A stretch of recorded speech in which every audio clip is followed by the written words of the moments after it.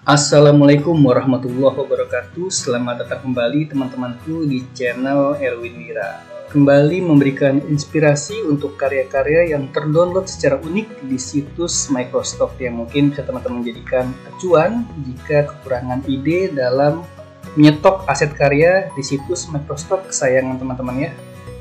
Dan tema yang akan kita angkat kali ini adalah Futuristic Viking Helmet di mana saya menggabungkan dua buah objek untuk membidik satu buah konsep.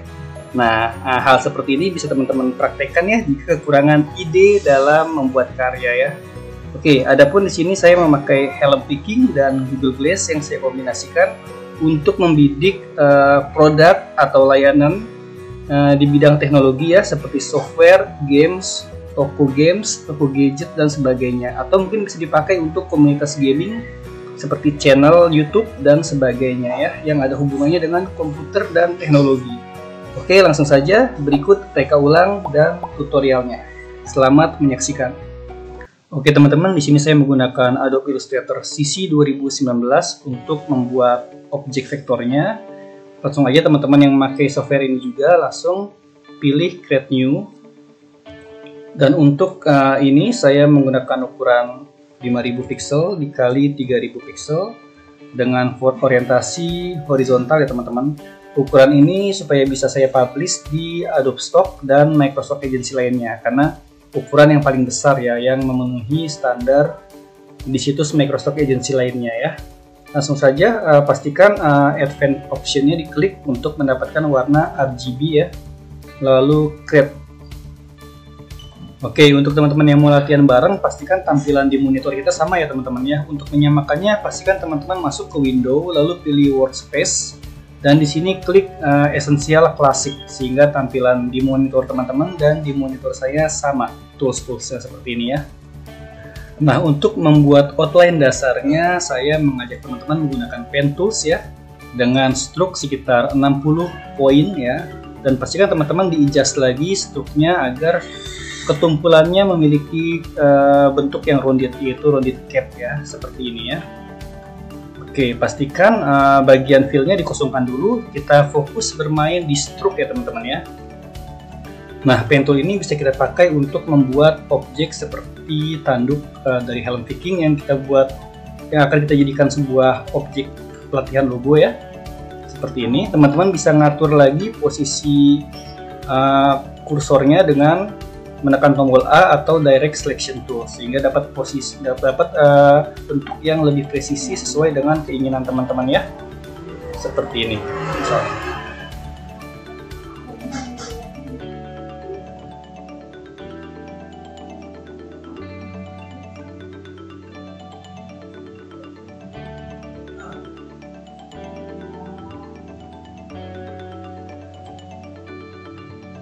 Oke, dan untuk objek-objek yang harus presisi, saya menggunakan shape tools. Di sini saya menggunakan rectangle tools ya, seperti ini, atau juga ellipse tools yang bisa teman-teman dapatkan di sini ya, ellipse tools.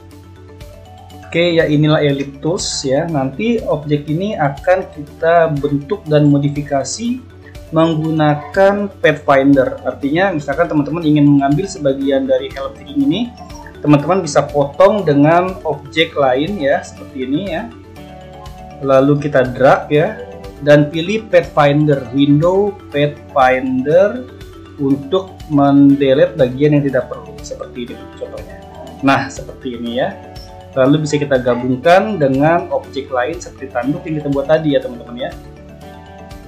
Seperti ini Tentunya bentuk ini akan berbeda dengan yang saya buat ya, karena kan yang kemarin sudah di-publish di situs Microsoft, jadi yang ini kita buat agak berbeda. Nanti teman-teman bisa download file mentahnya di kolom deskripsi ya teman-teman ya. Oke, bagian ini kita bisa copy ya dengan cara klik tekan Alt sambil menggeser. Jangan lupa tekan Shift juga agar pergeserannya presisi.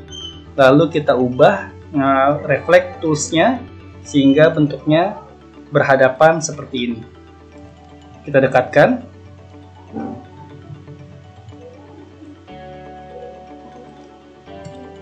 Oke, bagian selanjutnya kita memodifikasi rectangle tools ini ya supaya sudutnya agak sedikit rounded menyerupai Google Glass. Ya, teman-teman bisa pakai bisa pakai shortcut tombol A atau direct selection tools sehingga di bagian objek ini muncul titik-titik seperti ini yang bisa kita atur ketumpulannya seperti ini ya.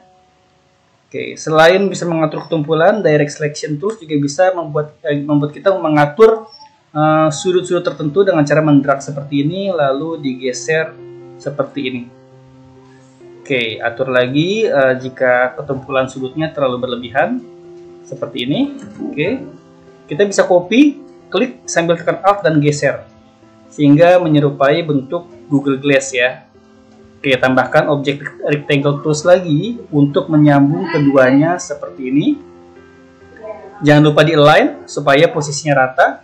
Window align lalu rata atas seperti ini sorry kita lepas dulu uh, artboard uh, align to artboardnya kita ganti align to section atau align to key object kita pilih align to section aja ya sehingga men mensejajarkan di bagian objeknya oke kita kombinasikan menggunakan Pathfinder window Pathfinder lalu klik yang unite maka objek akan tergabung seperti ini tinggal kita susun saja ke dalam helm pickingnya Oke, kita adjust seperti ini ya.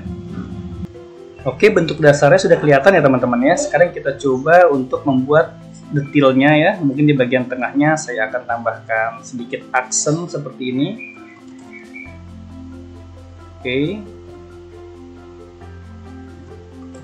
Nah, ada detail-detail kecil yang membuat uh, objek yang simple ini menjadi lebih hidup ya. Kita pakai struk dengan ketebalan yang berbeda. Misalkan ini adalah 60, kita coba struknya kita buat jadi misalkan 20 ya untuk membuat aksen-aksen tertentu seperti misalkan tekstur besinya seperti ini oke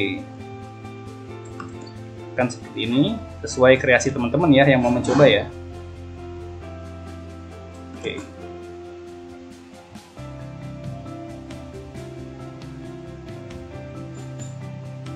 Supaya nggak kerja dua kali, teman-teman bisa copy, drag dengan cara mendrag, lalu geser sambil tekan Alt, lalu reflect toolsnya kita buat berhadapan seperti ini. Oke, teman-teman bisa tambahkan sesuatu di sini, mungkin seperti baut ya, lingkaran. Kita buat tiga kali, sorry, kita buat garis dulu tengahnya, seperti ini.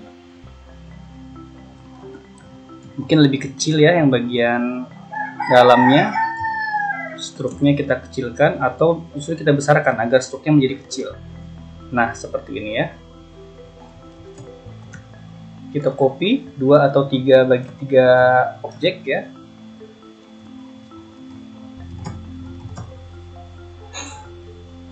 Dan kita sesuaikan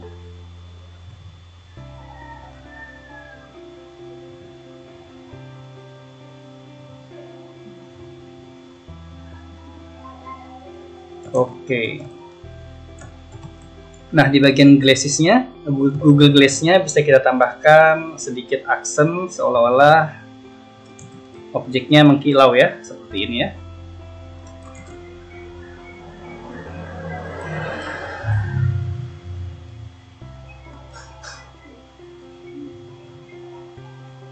Oke, supaya nggak kerja dua kali, kita copy saja seperti ini. Oke. Selanjutnya kita tinggal mengisi dengan warna ya. Namun sebelum itu saya mau menyesuaikan dulu nih uh, struknya seperti, sepertinya terlalu tebal ya teman-teman ya. Teman-teman bisa pilih uh, struk yang sama untuk menyesuaikan dengan cara select same stroke weight ya. Kita kecilkan bareng-bareng, mungkin jadi sekitar 10 coba atau 15 14 deh ya. Oke bagian ininya juga kita samakan aja dengan cara menggunakan drop tools ya supaya sama. Oke seperti ini. Oke untuk mengisi warna secara cepat ya uh, saya biasanya mendrag dulu semua objek ini di mana teman-teman bisa lihat ya ini masih stroke semua ya. Cara ngeliatnya gimana? Kalau ini masih stroke teman-teman bisa pakai Ctrl Y. Nah kalau garisnya tipis seperti ini berarti dia masih stroke teman-teman ya.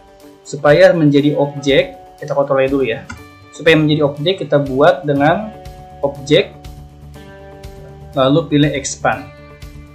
Nah, di sini expand fill and stroke menjadi objek, tekan OK. Nah, maka dia akan menjadi objek yang tadinya adalah stroke ya. Sekarang ketika dikontrol Y, dia akan berubah seperti ini bentuknya ya. Kita kontrol Y lagi. Nah, ini teman-teman, uh, ini masih objek yang terpisah. Untuk memudahkan pewarnaan ya, teman-teman bisa uh, menggunakan Pathfinder yang unite Maka semuanya akan tergabung ya. Nah, mengisi warnanya gimana? Pilih aja uh, objek di belakangnya, kita buat mungkin dengan rectangle tools ya. Kita buat misalkan warnanya khas Viking itu coklat ya, seperti kayu ya. Nah, seperti ini misalkan. Kita taruh ke belakang ya. Ctrl Shift buka kurung. Nah, maka dia akan ke belakang ya, itu shortcutnya ya. Nah, ngisi warnanya gimana? Langsung di drag semua dan pilih Pathfinder yang ini, yang divide ya, yang opsi divide. Sehingga semua ini menjadi objek-objek lepasan. Dengan cara mengungroup mereka ya. Ctrl Shift G. Nah maka mereka akan terungroup sehingga bisa dipilih perbagian. Yang tidak perlu bisa dihapus seperti ini. Dan yang kita perlukan tinggal isi warna aja nih teman-teman ya. Misalkan di bagian sini kita isi warna dengan hitam. Nah di bagian glowingnya kita isi dengan warna yang terang. Mungkin putih seperti ini Oke, bagian helm besinya kita bisa isi dengan warna abu-abu ya.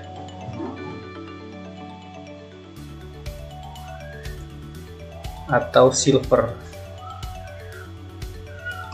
Oke.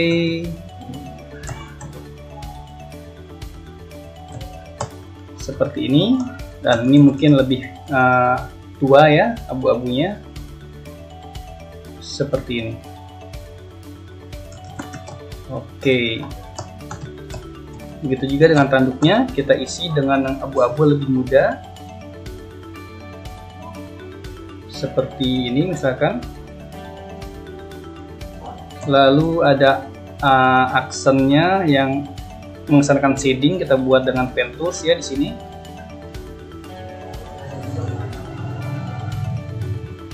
Kita isi dengan warna yang agak gelap. Mungkin ini ya kita Ctrl X lalu paste di belakangnya warna hitam dengan cara menekan Ctrl B. Oke kita copy aja dengan direct selection tools ya tanda panah warna putih lalu kita seret sambil menekan alt. Orientasinya kita ganti reflect tools menjadi berhadapan. Lalu kita masukkan lagi ke posisi yang sama. Oke kira-kira seperti ini ya teman-teman ya ini adalah proses reka ulangnya, teman-teman tinggal mengaplikasikannya ke berbagai jenis warna. Nanti mungkin ada yang hitam putih atau ada yang hitam uh, full ya dan sebagainya sehingga nanti orang yang mendownload akan lebih mudah menggunakannya untuk menempatkannya di berbagai macam media. Oke, tinggal diupload aja ke berbagai macam agency jika teman-teman tidak memilih eksklusif member ya di situs Microsoft. Uh, tutorialnya sudah sangat lengkap di channel ini, bisa cek kolom deskripsi jika teman-teman membutuhkannya ya. Semoga reka ulang ini bisa menjadi inspirasi bagi teman-teman yang kehabisan ide dalam menjual karya di situs-situs Microsoft ya. Semoga bermanfaat. Sampai berjumpa di tutorial selanjutnya. Wassalamualaikum.